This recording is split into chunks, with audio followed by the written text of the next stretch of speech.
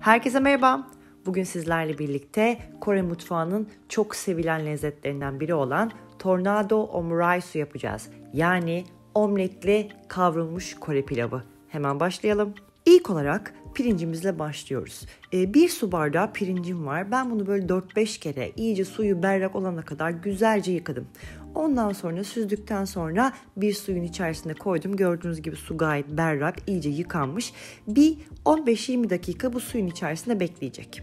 Evet 15 dakika sonra ben pirincimi güzelce süzdüm. Pirinç iyice dinlendi. Bir güzel şişti suda. Şimdi hemen süzdükten sonra e, tenceremin içerisine alıyorum. Ve üzerine de 2 su bardağı su koyuyorum.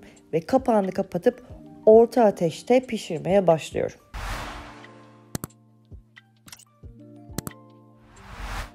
Şimdi böyle köpük köpük, fokur fokur kaynadığını gördükten sonra hemen kapağını açıyorum.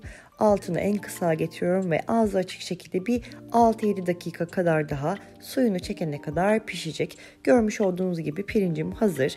Ee, böyle karıştırdığımızda da anlayacağız. Suyunu güzelce çekmiş, ee, pirinçler iyice yumuşamış. Bir e, dişe gelmeyecek şekilde bir ağzınıza aldığınızda da anlayabilirsiniz. Hemen bir tabağa koyuyorum ve bir köşeye alıyorum ve soğumaya bırakıyorum. Şimdi yemeğin en önemli kısmından biri sosu. Ee, hemen biraz sıvı yağ ve biraz unu koyuyorum ve unu güzelce hafif kokusu çıkıncaya kadar kavuracağım. Bir 6-7 dakika hafif koyulaşıp hafif kokusu çıkıncaya kadar unumuzu kavuruyoruz. Ardından suyumuzu ekliyoruz ve güzelce karıştırıyoruz. E, suyumuz zaten ısındıkça bu içerideki topaklanmalar hemen gidecektir hiç merak etmeyin. Şimdi sosumun bazı hazır. Güzel beşamel sos kıvamında böyle yumuşacık bir sos oldu. Hemen üzerine biraz sirke, ketçap ve soya sosu koyuyorum ve tekrar karıştırmaya devam ediyorum. Bu sos e, hemen hemen her yemeğinin yanına yakışabilecek lezzetli bir sos gerçekten. Çok güzel kokuyor, harika bir kıvam ve çok güzel bir rengi var. Şu an sosumuzu iyice karıştırdık. Son üzerine biraz e, değirmen karabiber ekledim. Toz karabiber de ekleyebilirsiniz. Bir tur daha karıştırdıktan sonra artık altını kapıyorum ve sosumuz hazır. Şimdi artık pilavın malzemelerine geçebiliriz. Biraz sıvı yağ ekliyorum ve bir adet soğanım var küp küp kestiğim. Onları hafif kavuruyorum. Soğan biraz böyle şeffaflaşınca, biraz kavrulunca kapya biber ve havuç ekliyorum. Daha sonra birazcık da bezelye ekledikten sonra tüm sebzeleri şöyle bir 6-7 dakika güzelce kavuruyorum. Ardından bu karışımın içerisine de biraz ketçap ve biraz soya sosu ekliyorum ve sebzelerle güzelce harmanlıyorum. Ve şimdi pilavımla birleştirme vakti geldi. Pilavım güzelce soğumuştu. Hemen sebzelerin içerisine ekledim. Ocakta şöyle bir 2-3 dakika lezzetler iç içe geçsin diye güzelce karıştırıyorum. Ve hemen hafif bir çukur kasenin içerisine güzel kalıpla koymak için küçük bir bardağımın içerisine pirincimi yerleştiriyorum. Klasik her zaman yaptığımız gibi ters çevirip tabağıma yerleştiriyorum. Ve şimdi işin tornado omlet kısmında geldi. Tavamı güzelce ısıtıyorum. Ocağım orta ateşte. Bol sıvı yağ koydum. Bir adet yumurtam var ve güzelce çırpıyorum.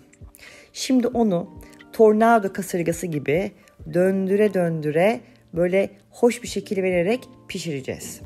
Gördüğünüz gibi böyle yanlardan beyazlaşıp hafif pişmeye başladığında 2 adet chopstickle yanlardan tutup ortaya birleştiriyorum ve sürekli döndürme hareketi yaparak pişiriyorum. E, bu aslında omurice e, ya da omuraisu e, Kore'de çok meşhur bir yemek ama biraz Amerikalaşmış ve e, bu m, tornado ismini almış. Tornado aslında İspanyolca'da dönmek anlamına geliyor. Amerika'da çok sık görülen kasırgalardan biri. O yüzden buna böyle hoş esprili bir isim vermişler. Ve benim omletim şu an hazır. Üstünü biraz böyle cıvık bırakmakta fayda var. Çünkü durduğu yerde de pişecektir. Hemen pilavımı koymuştum. Gördüğünüz gibi daha 2 dakika içerisinde yumurtam pişti. Ee, üzerine hemen koyuyorum. Böyle yanlardan hafif chopstickle pilavın altına ittiriyorum. Ve demin hazırlamış olduğum sosa böyle çok az bir kaynar su döktüm ve hafif açtım onu sulandırdım. Ve böyle pilavın ve omletin yanlarına güzelce sosumu döküyorum. En son üzerine biraz toz fesleğen döktüm ve artık yemeğe hazır. Bizim damak tadımıza gerçekten çok uyan bir lezzetmiş. E, Koreliler zaten pilavı çok seviyor. E, bizler de öyle. Ve böyle soslu soslu, yumurtalı, sebzeli çok hoş oldu. Gerçekten içi de böyle çok güzel gözüküyor. Siz de mutlaka deneyin. Şimdiden afiyet olsun.